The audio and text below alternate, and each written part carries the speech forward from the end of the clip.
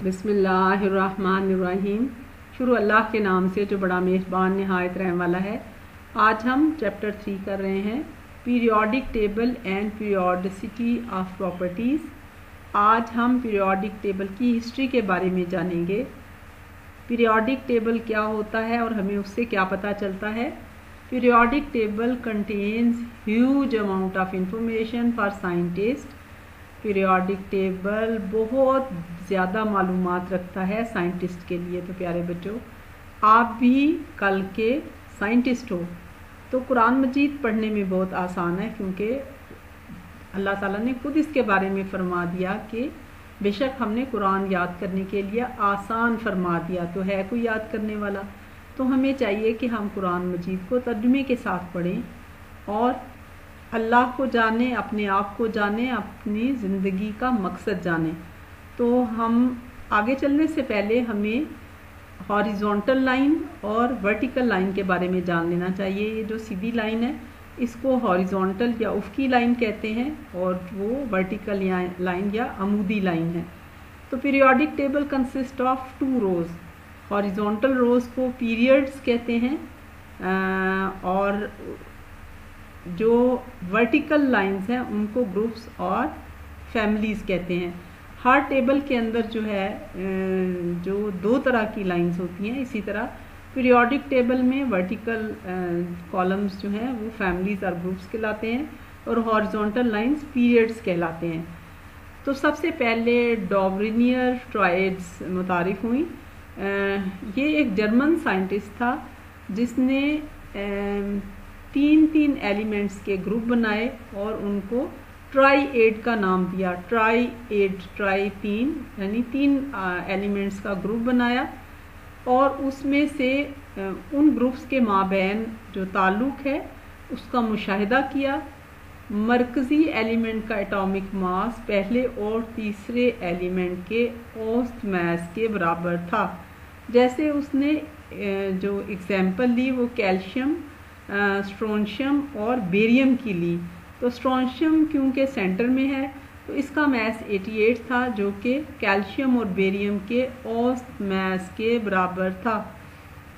आ, लेकिन आ, इसको ज़्यादा पजीराई इसलिए नहीं मिली कि ये सिर्फ़ तीन आ, इस तरह के ट्राइड का मुशाह कर सका। आ, बाकी जो एलिमेंट्स हैं वो इसके इस मुशाहे के ऊपर पूरे नहीं उतरे थे। तो ये इसकी ट्राइड के मॉडल की खामी थी। फिर उसके बाद एक और साइंटिस्ट है जिसका नाम जॉन न्यूलैंड्स है। John Newlands orders the elements according to atomic mass उसने एटॉमिक मास के हिसाब से एलिमेंट्स की तरतीब की। He also put them into groups with similar properties उसने एक जैसी खसूसियात रखने वाली एलिमेंट की दर्जाबंदी की और he called his table the law of octaves उसने अपने टेबल का नाम लॉ ऑफ़ ऑक्टेव्स रखा। आ, लेकिन इसमें कुछ खामियाँ थी। More than one element in some boxes कुछ बॉक्सेस में एक से ज़्यादा एलिमेंट आ गए जैसे कोबाल और निकल जो हैं। वो एक ही बॉक्स में आ गए। तो इस तरह तो ख़राबी हो जाती है ना। फिर उसके जो जॉन न्यूलैंड टेबल है, उसके एक और खामी उसके टेबल में ये थी कि metals in same groups as non metals metals जो हैं, वो धातें होती हैं और नॉन मेटल्स गैर धाती एलिमेंट्स होते हैं। तो ये दोनों भी मेटल्स एंड नॉन मेटल्स एक ही ग्रुप में आ गई। तो ये उसके टेबल की दूसरी खामी थी। अब हम देखते हैं कि उसके टेबल बनाए हुए टेबल में तीसरी खामी क्या थी? तीसरी खामी ये थी कि groups only work for first seventeen elements दर्जा बंदी ने सिर्फ़ पहले सेवनटीन एलिमेंट के लिए काम किया, क्योंकि उस वक़्त अभी बहुत सारे एलिमेंट्स दरियाफ्त नहीं हुए थे, थोड़े से थे और इसमें और कोई गुंजाइश नहीं रखी गई थी कि नए आने वाली एलिमेंट इसमें ऐड हो सकें। Elements were still being discovered. Element जो हैं, उनकी डिस्कवरी हो रही थी, उनकी दरियाफ्त हो रही थी और उनके लिए इस टेबल में जगह नहीं थी।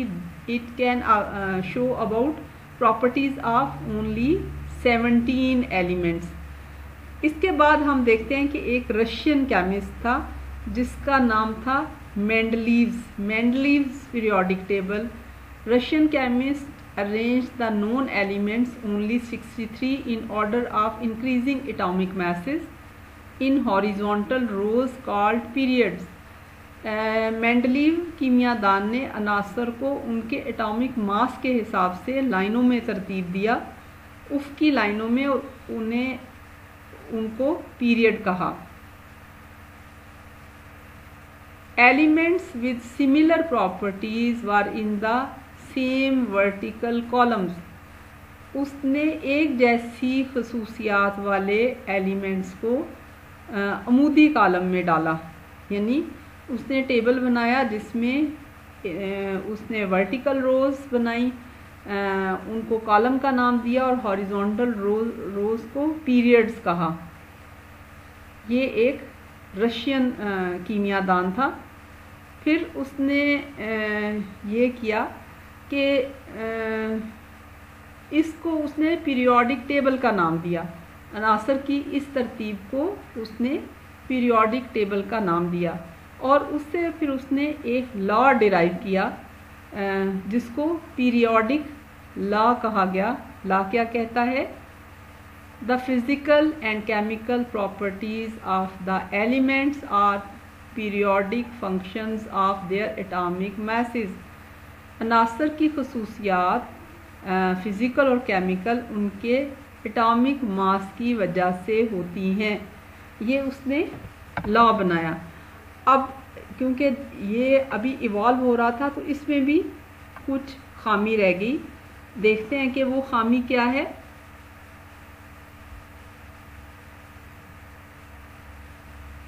Mainly periodic table was the first ever attempt to arrange the elements yet it has a few demerits in it पहली तो अच्छी बात ये थी कि उसने अनासर को तरतीब दिया, लेकिन इसमें कुछ डीमेरिट्स और कुछ खामियाँ थी।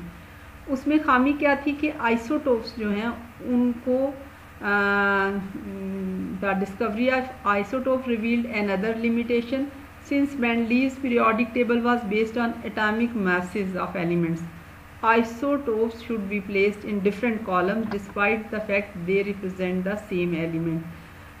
Isotope एक ही आंसर को प्रेजेंट करते हैं लेकिन उनके एटॉमिक मास फ़र्क होते हैं। तो ये ए, उनकी सिर्फ़ एटम में न्यूट्रॉन्स की तादाद फ़र्क होती है। प्रोटॉन और इलेक्ट्रॉन एक जैसे होते हैं। उनका एटॉमिक नंबर एक होता है, एटॉमिक मास फ़र्क होता है। लेकिन क्योंकि इस मैंडलीव के पीरियोडिक टेबल में एटॉमिक मास की बेसिस पे दर्जा बंदी थी तो यहाँ पे ये मुश्किल आई। इसका Moseley concluded that it is better to explain the trends in Mendeleev's table if the elements were arranged according to increasing atomic number.